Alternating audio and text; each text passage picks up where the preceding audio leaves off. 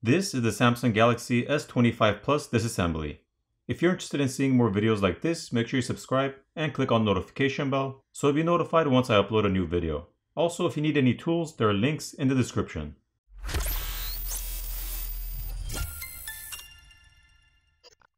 We'll start off by removing the SIM tray.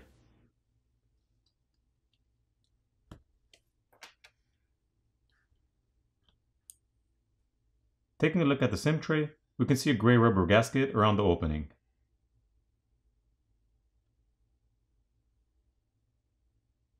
At this point, heat needs to be applied to the back plate using either a hair dryer or a heat gun to loosen up the adhesive underneath, and then a pry tool can be used to pry the back plate off. I prefer to use a hair dryer since there's less of a chance of damaging any of the components inside by overheating them.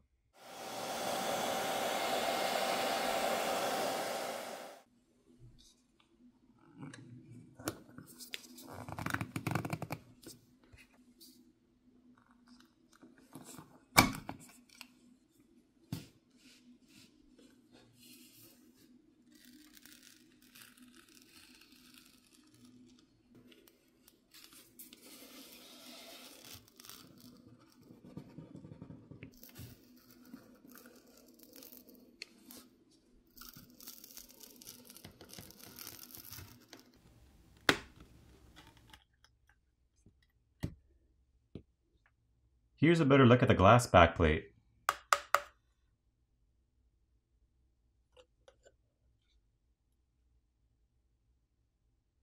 The glass camera lens covers can be replaced by applying heat and prying them off, so you won't need to take apart the phone to replace those. Internally, it looks to be a familiar device. There are now 21 Phillips screws that have to be removed.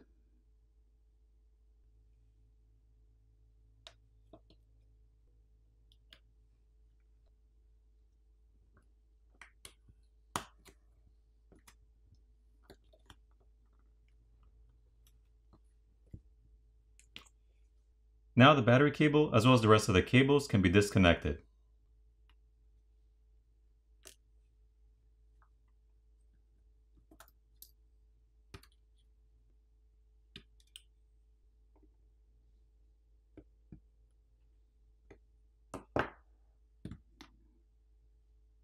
This flex cable connects the main board to the screen, so if you needed to replace the screen, you wouldn't necessarily have to disassemble the phone from the back, you'd be able to just apply heat to the front where the screen is to loosen up the adhesive underneath, and then pry the old screen off, as well as disconnect the flex cable from the other side.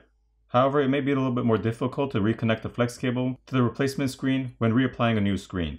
The easier way would be to remove the back plate, the screws on the bottom speaker assembly and the speaker assembly itself, giving access to this flex cable, at which point you can disconnect the flex cable from the screen, and then heat up the front of the phone where the screen is to loosen up the adhesive underneath and pry the old screen off. This is the bottom speaker assembly and there's a rubber gasket and mesh filter over the speaker opening. The linear haptic feedback motor or vibrator motor is located behind the speaker in the enclosure. These two flex cables connect the main board to the subboard.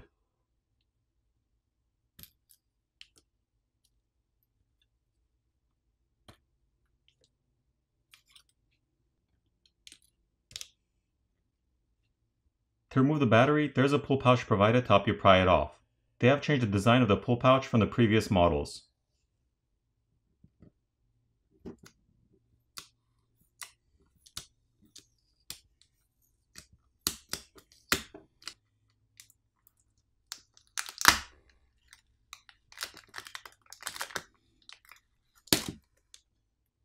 Here's a better look at the 4900 mAh battery and in my opinion this pull pouch is easier to use compared to the previous version.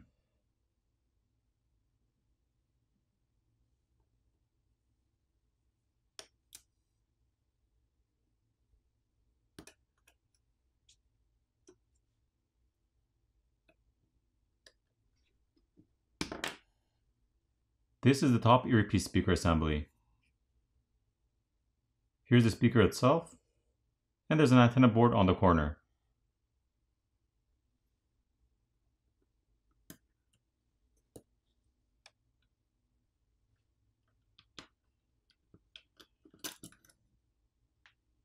So taking a look at the main board, we can see the 12 megapixel ultra wide lens, the 50 megapixel primary camera, as well as a 10 megapixel telephoto camera. The main camera and telephoto lens are the only ones with OIS or optical image stabilization.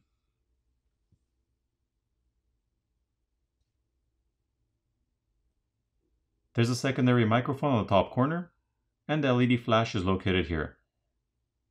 Looking at the other side, we can see the proximity and ambient light sensor, another microphone located next to that, as well as the camera connectors on the back which can be disconnected by popping them off. There is also a graphite pad on the back to help transfer heat. Once the graphite pad has been peeled back, we see a thermal pad which sits over the RAM that's seated over the processor. The ROM or onboard storage is located next to that.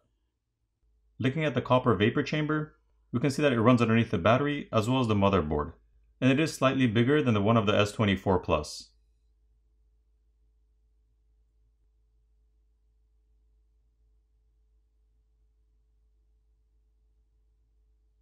There are two Phillips screws which are holding down the subboard.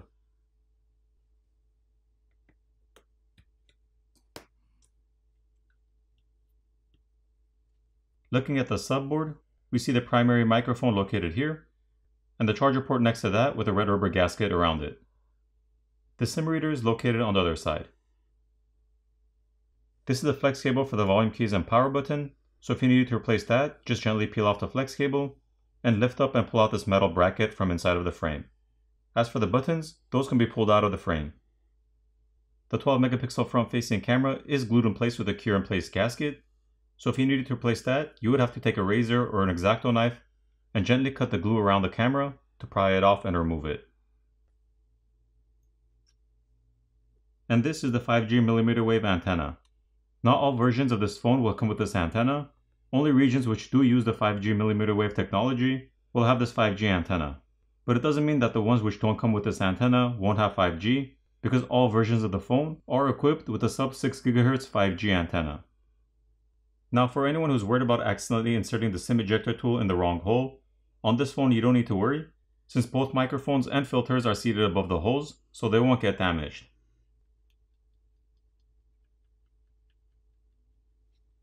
For the repairability score on this phone, I give it a 9 out of 10. Now it's time to put the phone back together.